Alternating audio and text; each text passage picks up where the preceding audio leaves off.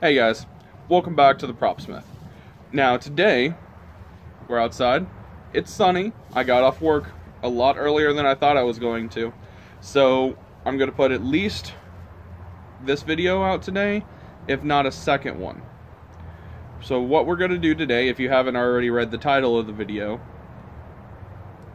I'm going to do a very simple, cheap tunic. Now, this is not my idea. I have copied it from LARPgasm. Max over there does great videos. If you haven't gone and looked at any of those, make sure to do that.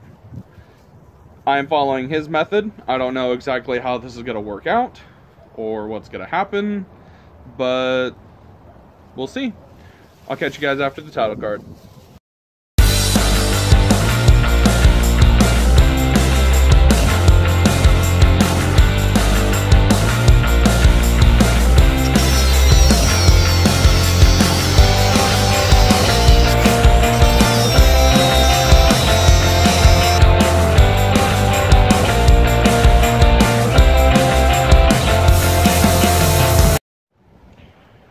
Right, guys. So what we have here is I have a white shirt and this off green shirt. Then I'm going to be pouring. This is coffee. Excuse me. This is tea. This is coffee. This has some red and green food coloring in it, and if I remember from art classes from elementary school, red and green make some sort of brown. Now, the white shirt I figure is going to turn out just fine. What my problem is with the screen shirt so if you can see it, it has this print on it. So I'm gonna see if I can't stain up that print enough that you can't really see it. But we're gonna figure it out. Now, as you can tell, it's fairly sunny today, but it's also kind of cold. So this may take a while to dry, not exactly sure. So I'm gonna set up my tripod, put this on there, and we'll go from there. Alright guys, I've got my tripod set up. I'm going to go ahead and start with the white shirt. I'm going to start staining the armpits and around the collar first. Probably I'm going to start with the, the coffee mixture, see how that works.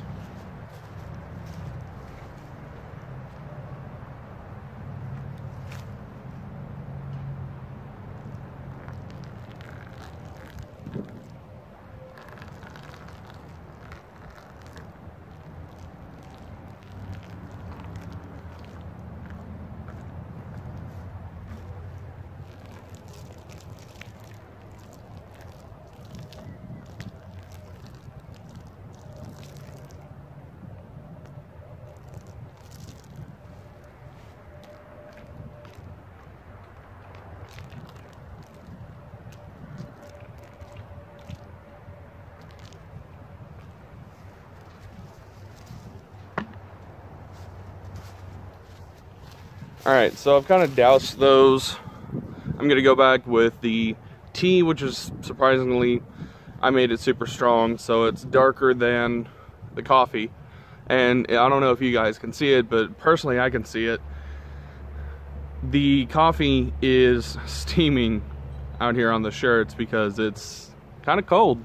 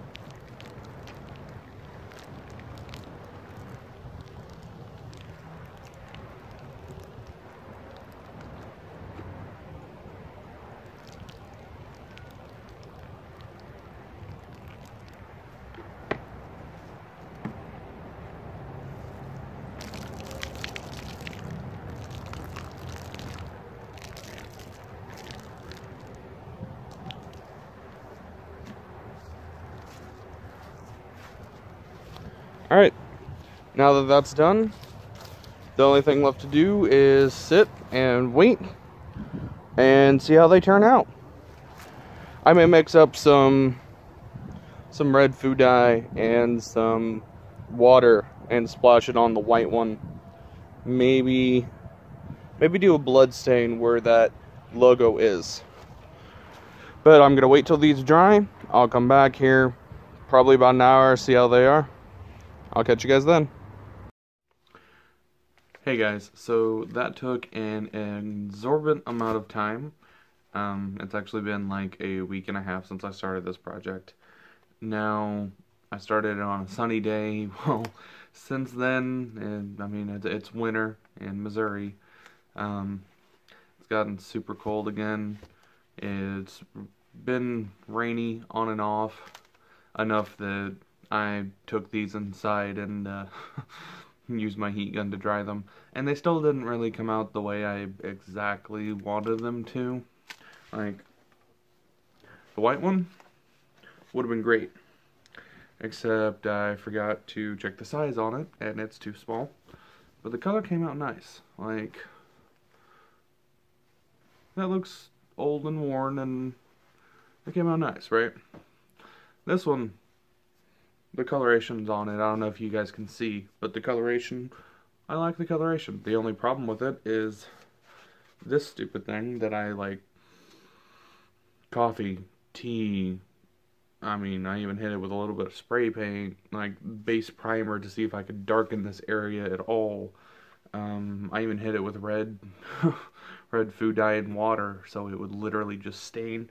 And I can see red, but it's still popping through. So I'm gonna have to figure out some kind of um, tabard or pauldron or spaulder or something to sit and cover this up.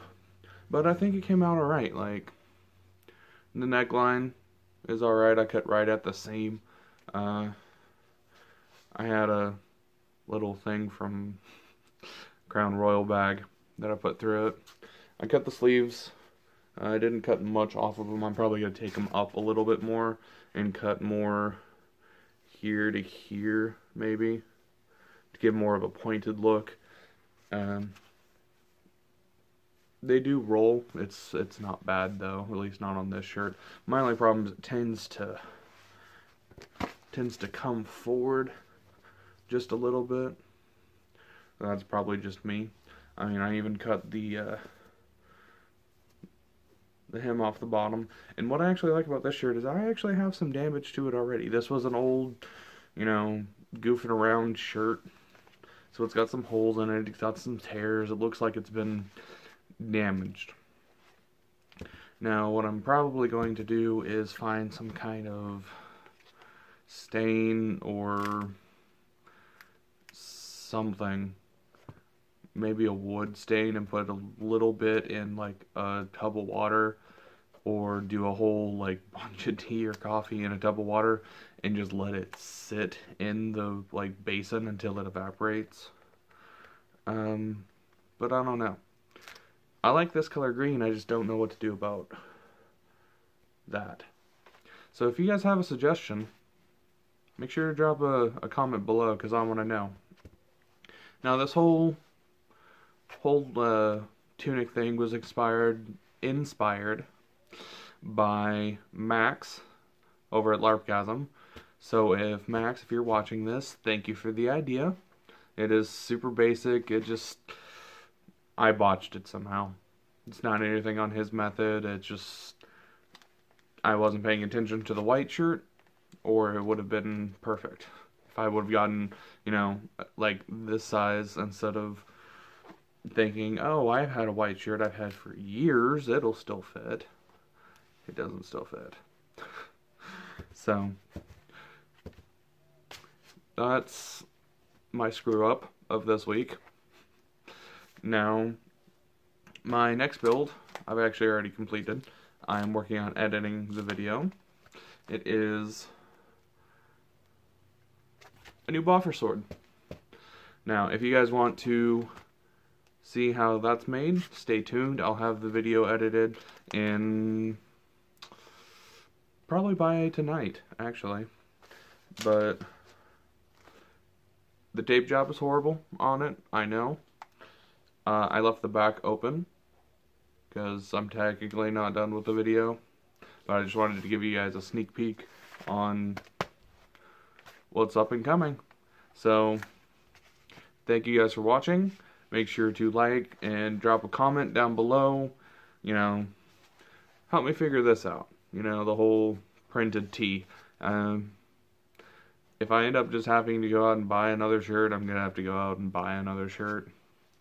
Anyway, thanks guys.